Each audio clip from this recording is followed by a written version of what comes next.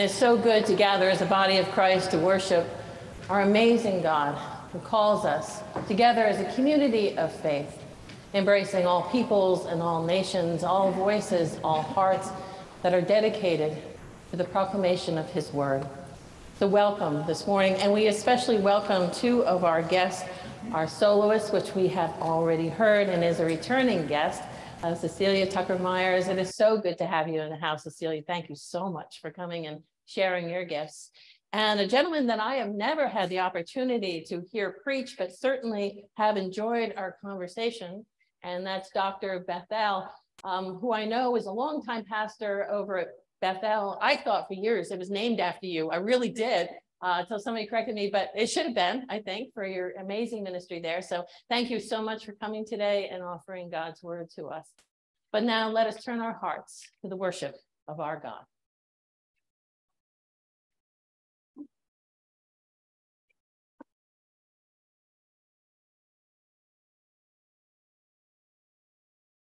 Good morning. Happy are those who walk in the way of the Lord. For they will find peace in the souls and joy in the service.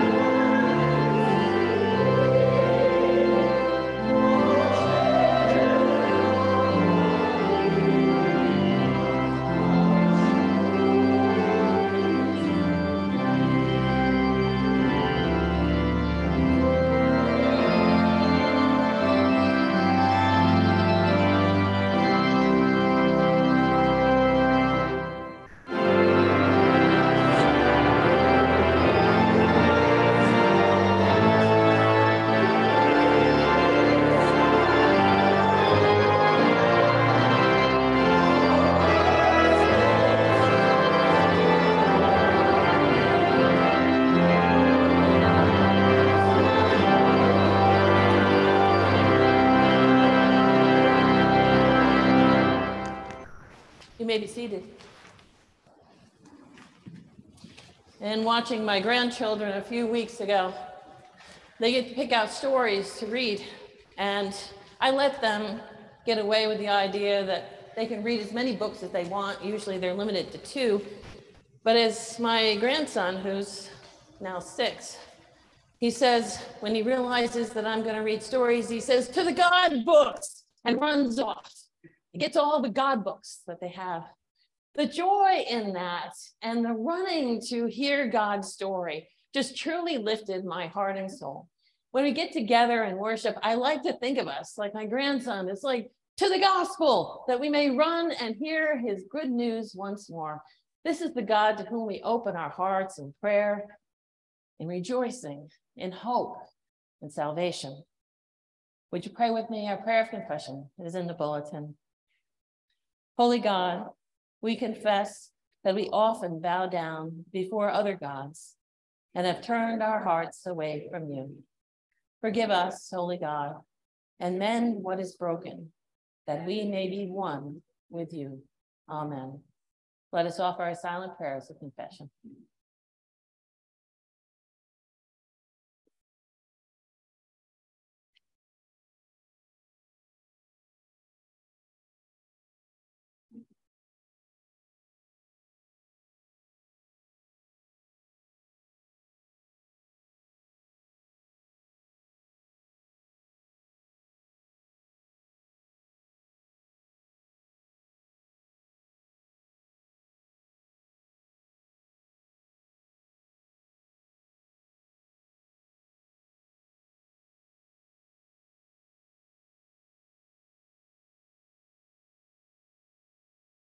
Amen. I think one of God's blessings is that He does not let us see ourselves as we truly are in all its fullness. Because I think if He did, I think we would truly be crushed. When we realize how far we and our world has fallen short of all that God would want for us, of all that He calls us to be, and the disciples that he calls us to be. I think God's gift is that even in the midst of all of that, he reaches out through the darkness, to the pain, to the fear, to the brokenness, and offers a way of hope and salvation and grace and mercy, which restores our souls. The power of the gospel to transform our lives is a powerful force as we allow it to transform ourselves more and more until we can be revealed in Him. Hear the good news of the gospel and know its truth, not only here, but especially here. Because of the power and grace of our Lord Jesus Christ, we are forgiven people. May the peace of Christ be with you all. A mark of that grace and our receipt of that grace is how we extend that peace one to another as brothers and sisters in Christ. Let us do so with joy and thanksgiving.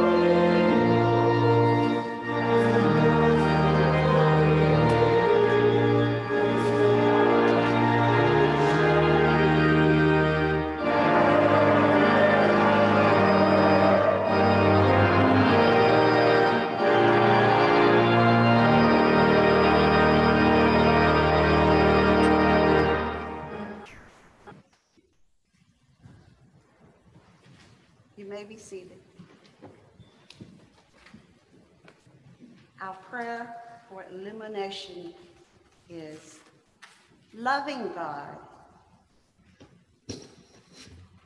Anoint us with your Holy Spirit as we hear your word this day. Fill us with your truth that we may walk in the ways of God and to the glory of your reign. Amen. Our Old Testament is Numbers 11, verses 16 through 17. So the Lord said to Moses, Gather for me 70 of the elders of Israel, whom you know to be the elders of the people and officers over them. Bring them to the tent of meeting and have them take their place there with you. I will come down and talk with you there, and I will take some of the spirit that is on you and put it on them, and they shall bear the burden of the peoples along with you, so that you will not bear it all by yourself. Isaiah 32, 15 through 17. Until a spirit from on high is poured out on us, and the wilderness becomes a fruitful field, and the fruitful fields is deemed a forest. Then justice will dwell in the wilderness, and righteousness abide in the fruitful field. And the effect of righteousness will be peace, and the results of righteousness, quietness and trust forever.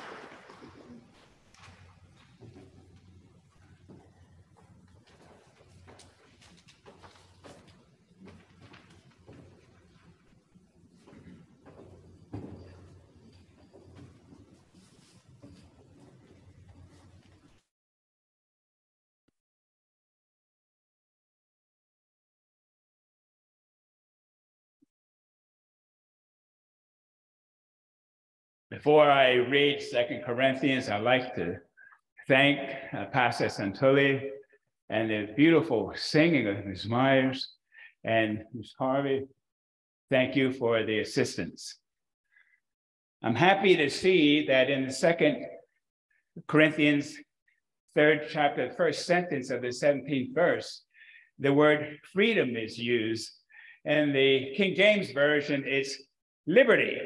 But freedom is a translation from the Aramaic that Jesus actually spoke. The apostle says this Now the Lord is the Spirit, and where the Spirit of the Lord is, there is freedom. And all of us with unveiled faces, seeing the glory of the Lord as though reflected in a mirror, are being transformed into the same image from the one degree of glory to another. For this comes from the Lord, the Spirit. This is the word of the Lord.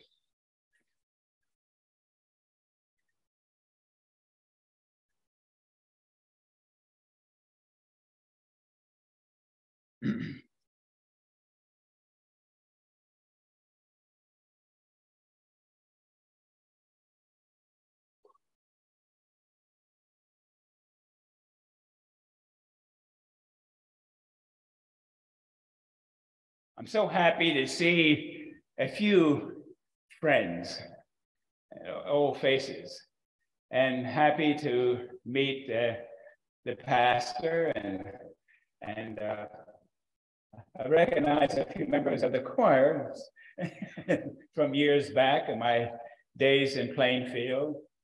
I now live in uh, Doylestown, Pennsylvania, and uh, it's a nice challenge uh, over here. I'm glad I made it this morning. I'd like to speak to you today on the spirit beneath us. According to a professor, Bart Ehrman, who was chair of the Department of Religious Studies at the University of North Carolina in Chapel Hill, there are a number of lost scriptures to the Bible, not included in the Old or New Testament. For example, the gospel according to the Hebrews and the gospel according to the Egyptians. You know, the gospel according to the Egyptians was written when Jesus was taken by Joseph and Mary to Egypt, running away from Herod and, um, and his son, who were determined to destroy them. Also, the Acts of John in New Testament and the Acts of Paul. Whether this discovery is accurately documented, it points out one truth. As we celebrate the contributions of the African American to the American historical experiences, there are still some underlying questions to be yet brought to the recognition that we need to give clearer insight to and the picture of human progress. It is related to this concept of lost pages that we need to meet up to in terms of challenge.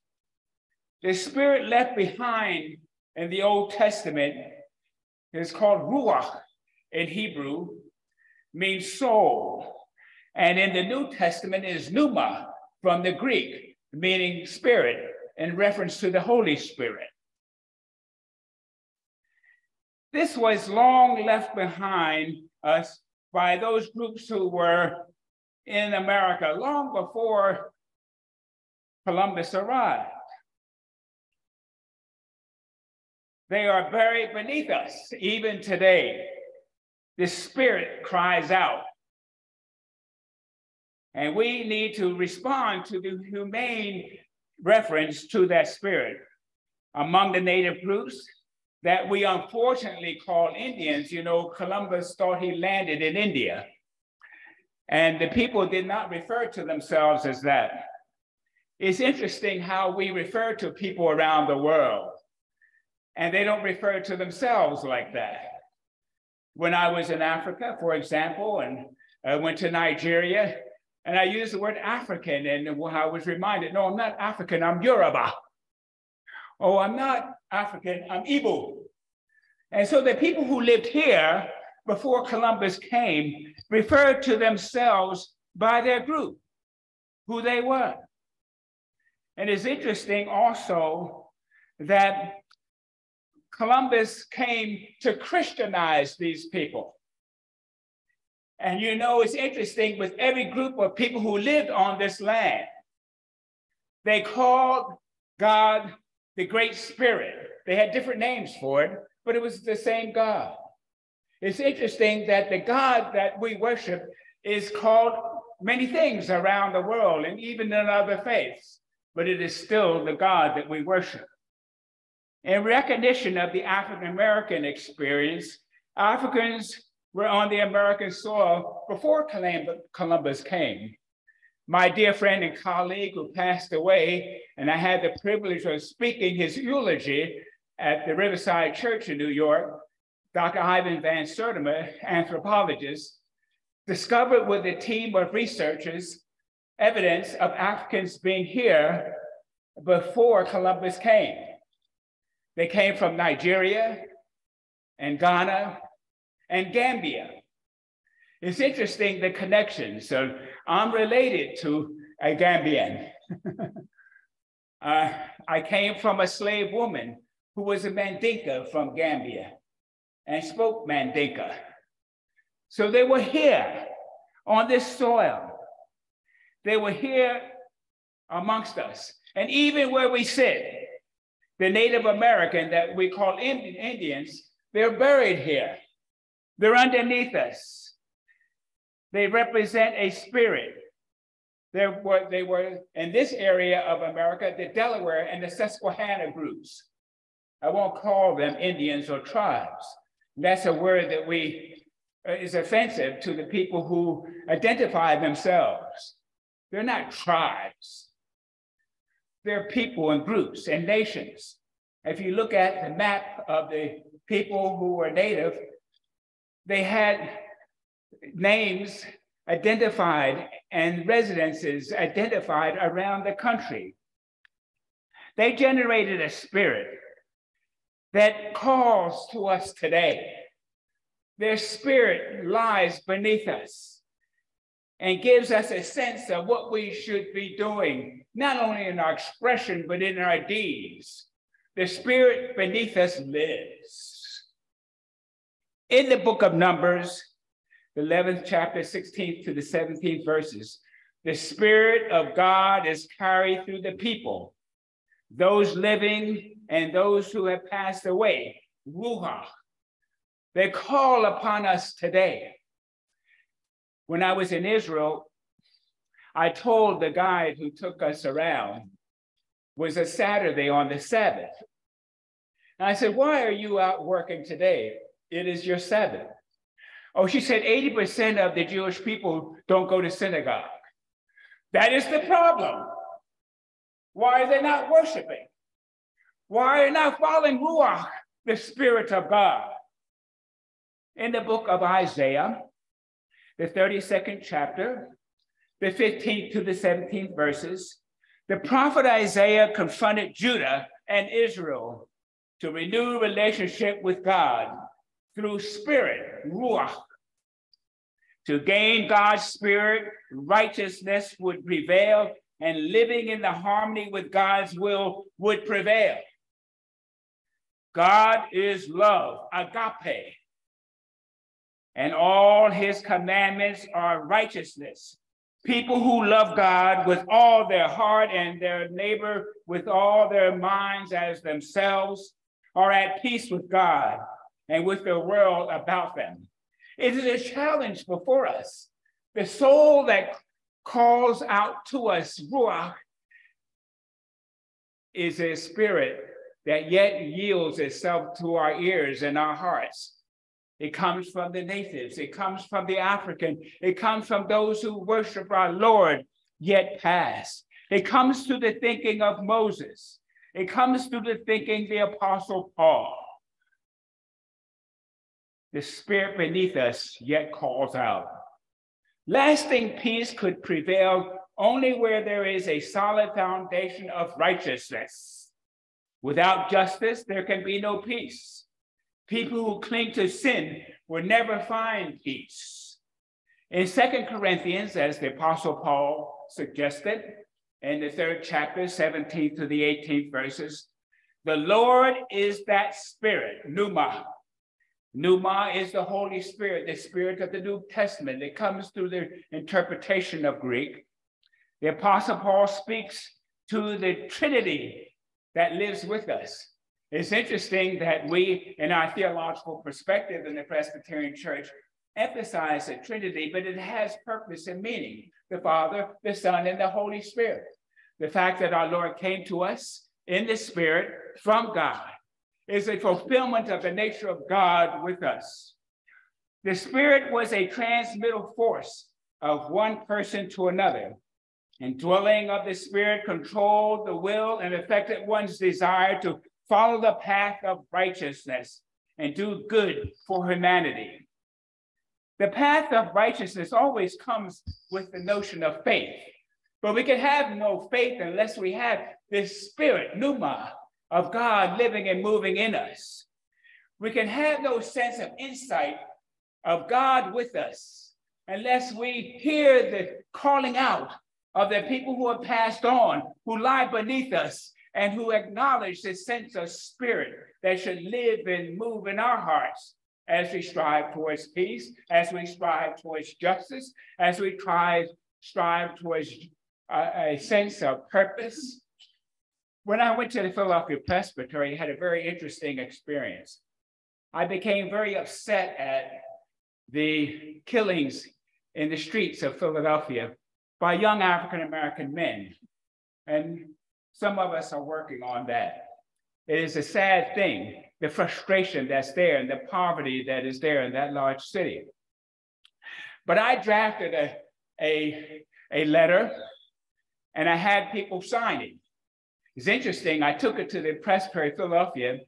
52 people signed it, they were all women. I don't know what happened to the men.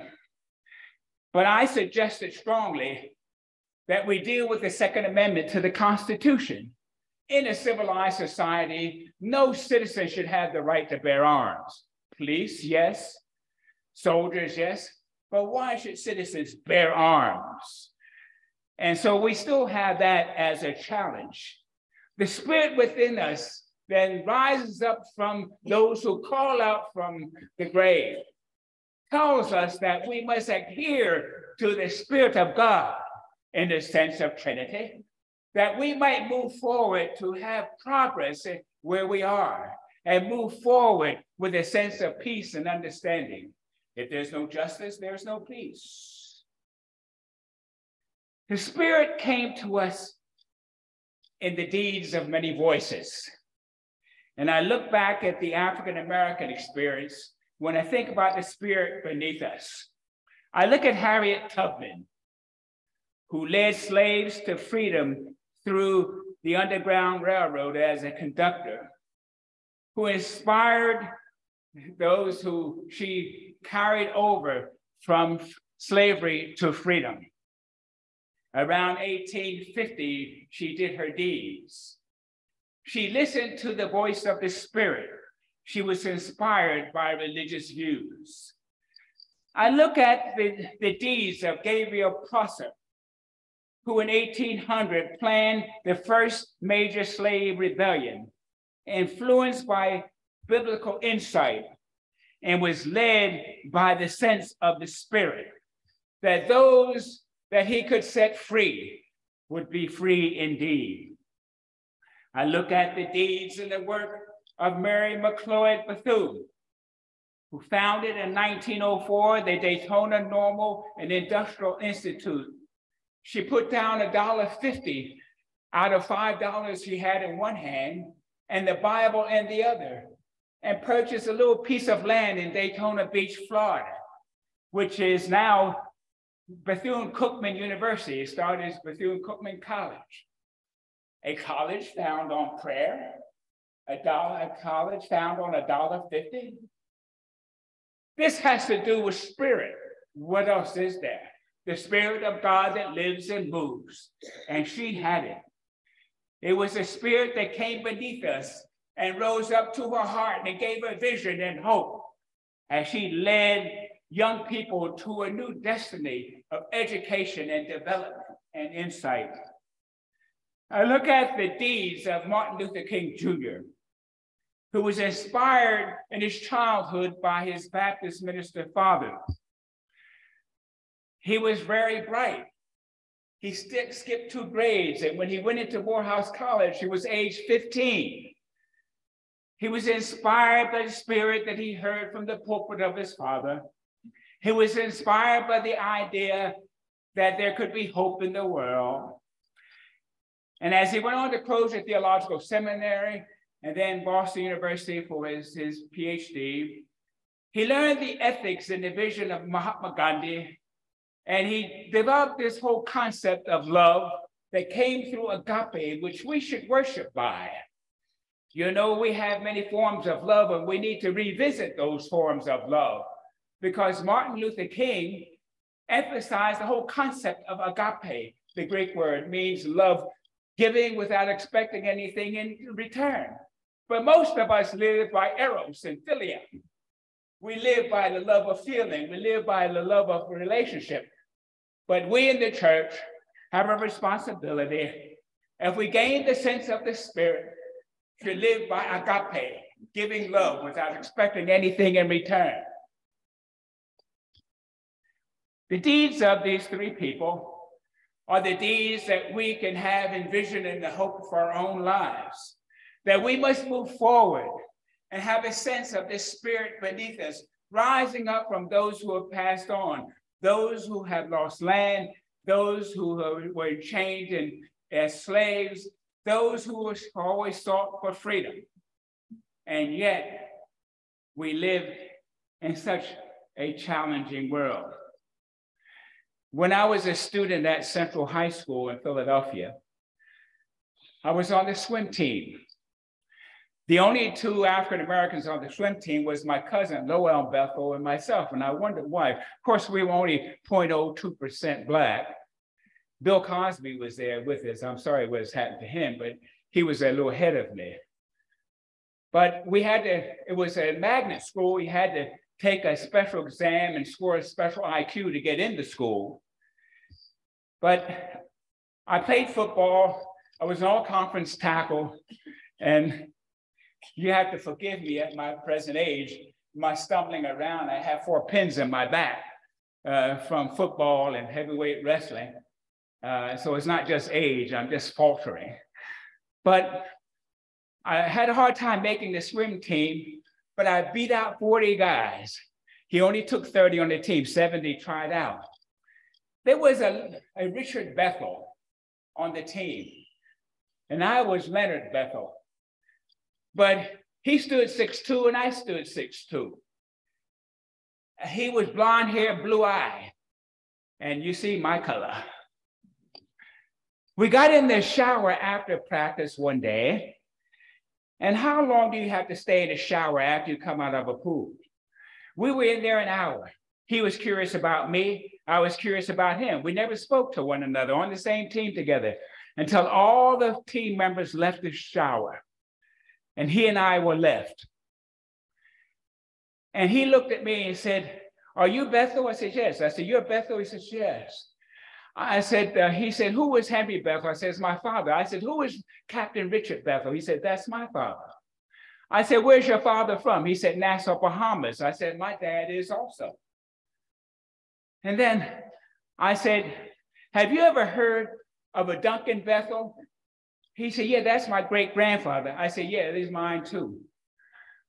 Duncan Bethel took a woman from the Gambia, West Africa. He was a slaver. He transmitted slaves uh, in the triangular slave trade from uh, West Africa and uh, to uh, the Caribbean and America.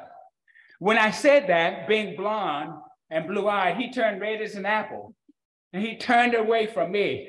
And of course, you know, my West Indian father stood six foot six. And of course, uh, Duncan Bethel was six eight. That's why we got our height like that. But the souls of the spirit of those of the past cried in me and said, Why, well, how did we get here?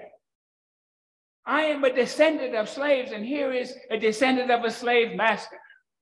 There has to be a sense of us moving forward in freedom and justice. Of course, he was practices Jewish faith, being Jewish, and you know, and I practice the Christian faith.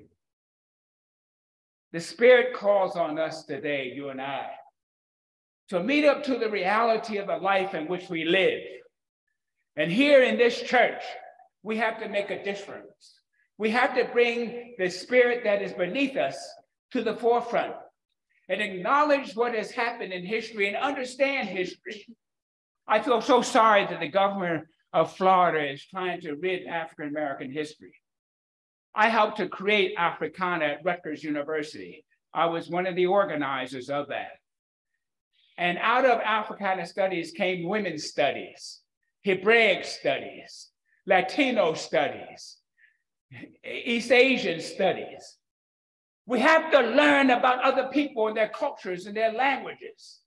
And in my department, we introduced Swahili and Yoruba and Zulu. I had, when I chaired the discipline, I had hired scholars to teach that. Let us live in the world of reality. Let us listen to the spirit beneath us and acknowledge so our next generation of young people can have their minds broadened. This world is not just made of education in French, German, and Latin. It's also Zulu and Swahili and Arabic. And we need to have this generation of young people, when they learn these things, they will tolerate other people. They will tolerate the world in which we live. They will deal do away with the ignorance of racism and narrow mindedness. Listen to the spirit beneath us and come lifted up before us so that you and I can be the instruments of hope. If there's no justice, there's no peace. If there's no understanding, there is ignorance. If there's no vision, there is no hope. If there is no insight that our Lord Jesus Christ brought to us, then there is no insight at all for hope of regeneration and development. We have moved forward technologically. It's interesting how you know the computer and the iPhone and all of these instruments are so advanced. And we're looking at the advancement in military instruments and all the things scientific with the computers and televisions and all the things that we have before us. But where we have failed is human development, humanity, sociability. We failed there. We have not advanced in those areas as well as we advance technologically.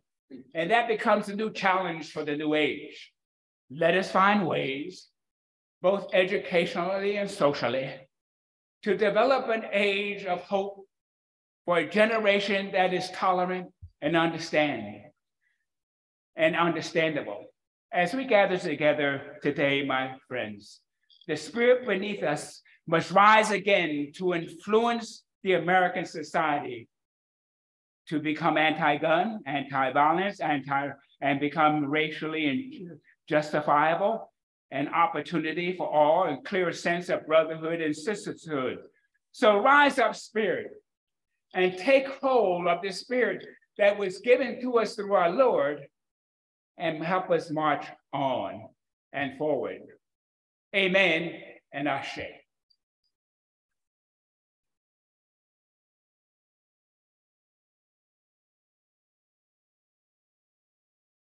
Thank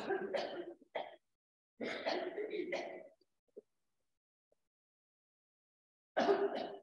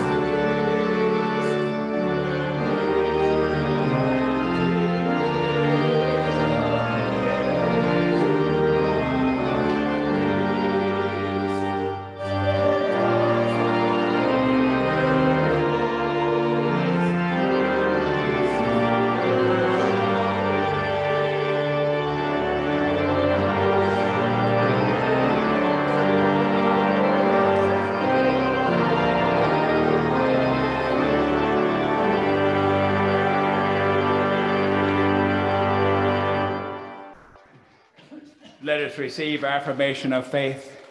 I believe in God the Father Almighty, maker of heaven and earth, and in Jesus Christ, his only Son, our Lord, who was conceived by the Holy Ghost, born of the Virgin Mary, suffered under Pontius Pilate, was crucified, dead, and buried. He descended into hell. The third day he rose again from the dead. He ascended into heaven and sitteth on the right hand of God the Father Almighty. From thence he shall come to judge the quick and the dead. I believe in the Holy Ghost, the Holy Catholic Church, the communion of saints, the resurrection of sins, the resurrection of the body, and life everlasting. Amen.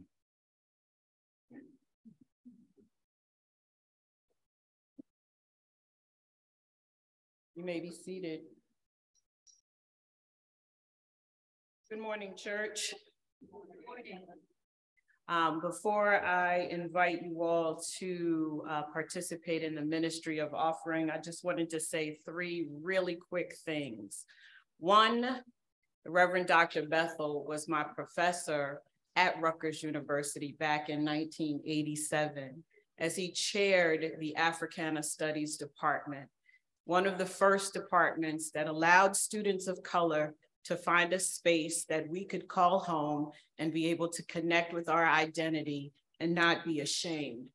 So with that, I will always be grateful for the work of Dr. Re Reverend Dr. Bethel for what he has poured into many African-American students at Rutgers University. And he was also the first uh, Presbyterian of color that I, a preacher that I had ever heard preach. So um, there is a spirit of connection with Dr. Bethel.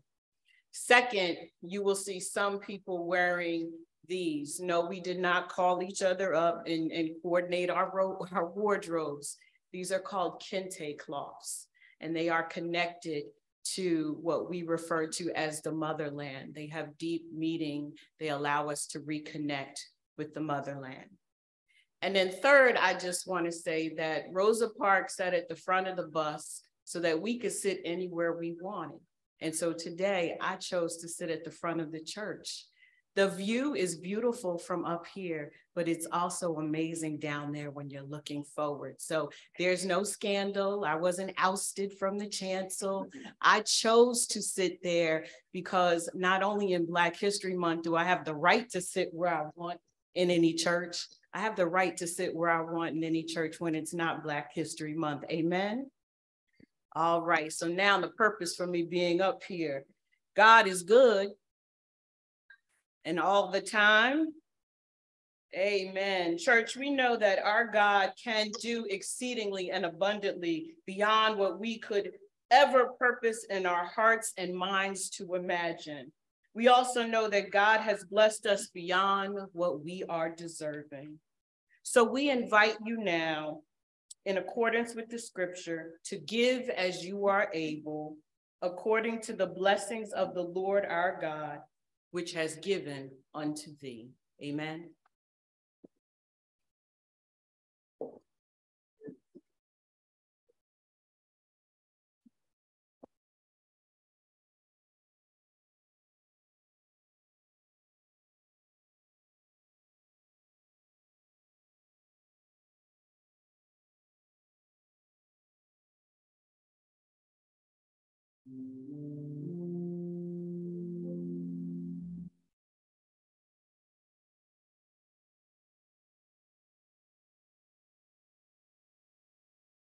I got news, I got news, I got news, oh Lord, I got good news. I got good news, I got news,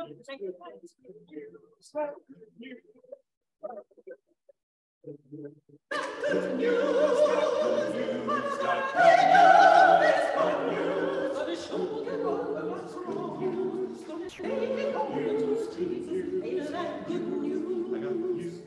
I got good news. I got a golden news, got news, baby, that's good news, got good news. I got a golden news,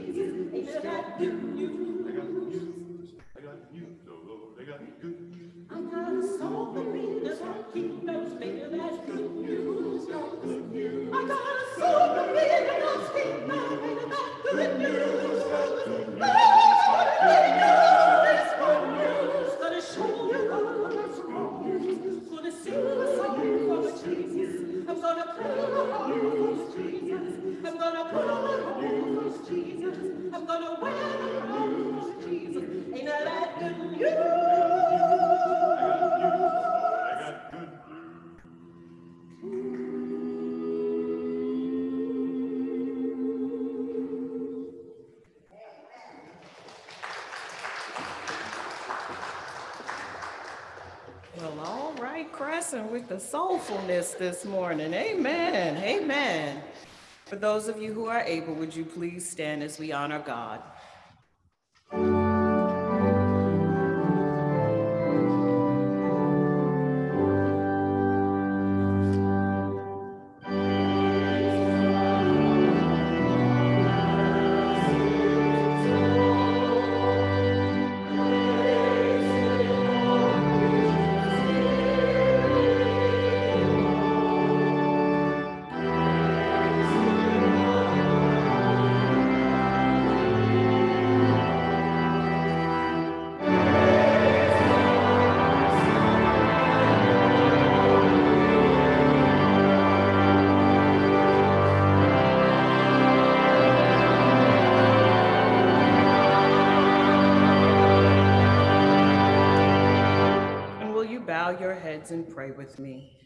Gracious and holy, loving God, Lord, we bow in great submission to the awesomeness of who you are, but more importantly, who you are to us as your children. Lord, we are grateful for the opportunity to give. We ask that you would bless this offering, multiply it, allow it to be used for the further building of your kingdom on this side of glory, serving the people in this community as you would have this church to do. And Lord, we will be forever mindful that all blessings come from you and therefore are yours to return. It is in the strong name of Jesus we all pray and let the church say, Amen.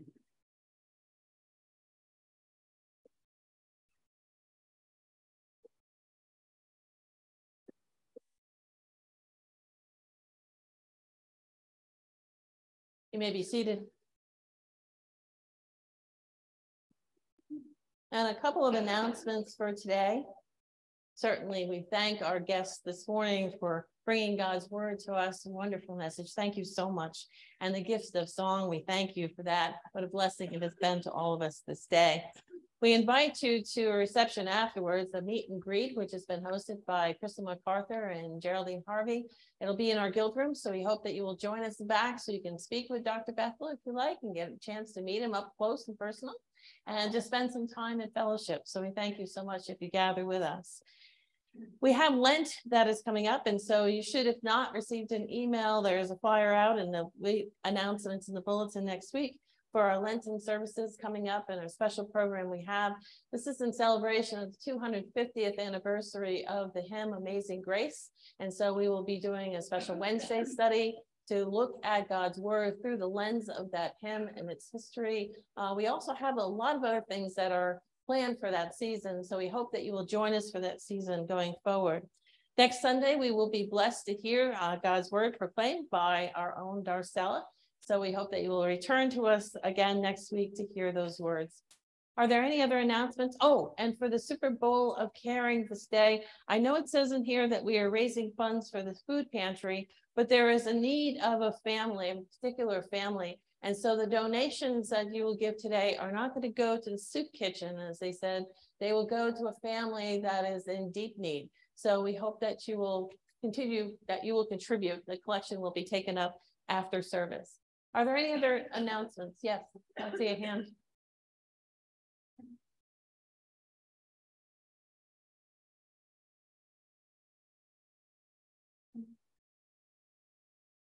Speaking of, we have Wendy coming forward.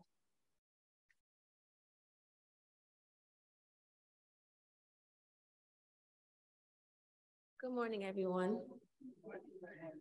Souper Bowl of Caring began in 1990 with a simple prayer. Lord, as we enjoy the Super Bowl football game. Help us be mindful of those who are without a bowl of soup to eat. Since then, Souper Bowl of Caring has become a national grassroots youth-inspired movement with over 175 million that has been raised for general charities. So today, our Sunday school department continues the tradition of having an annual Souper Bowl of Caring campaign immediately after church service. Youth will be located in the narthex and chancel area with large pots of soup. Please be very generous in giving check or cash. Thank you very much.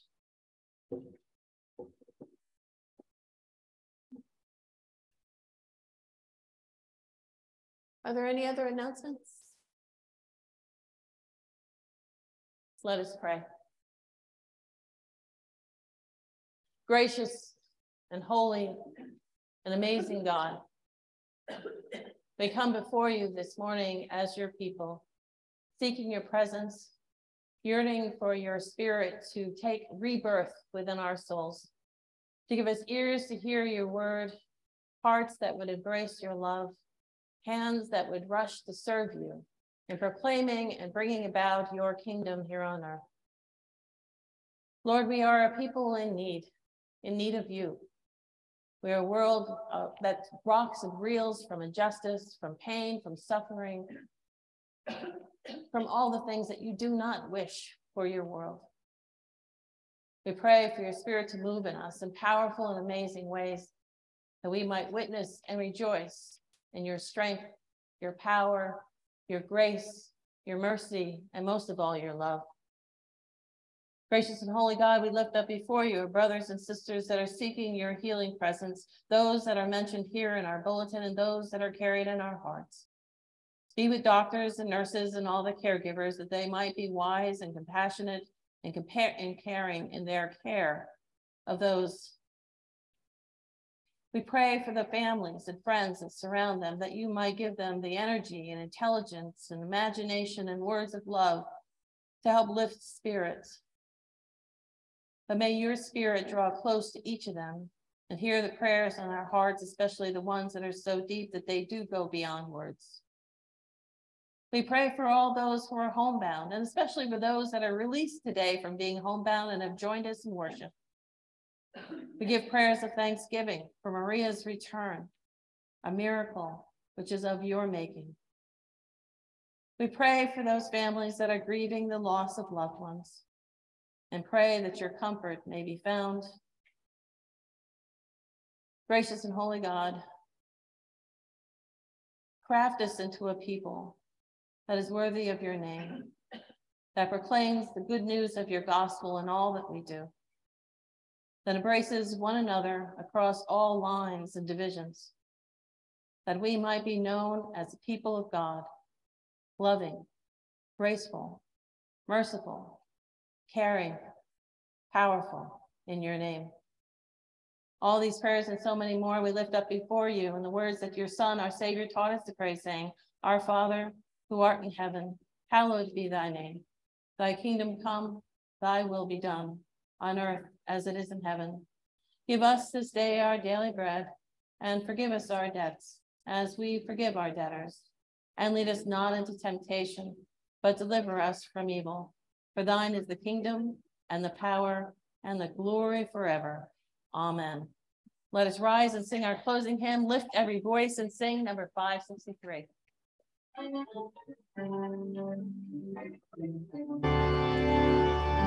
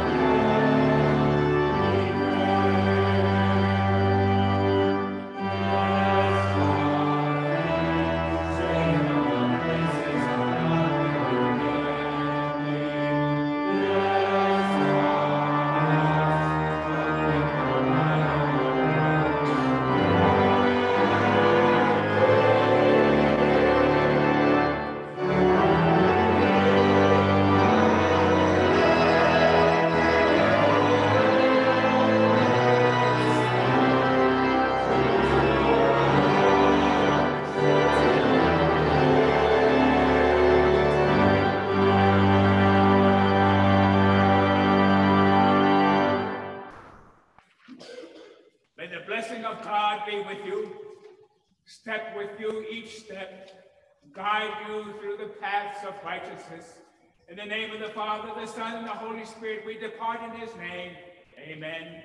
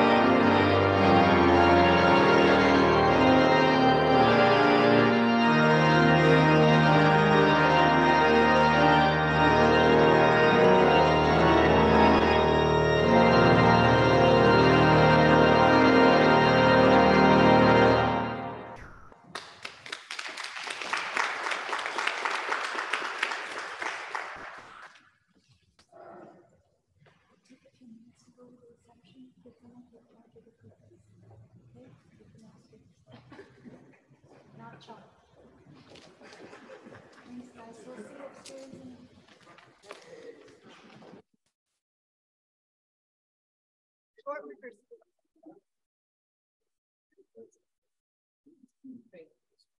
you.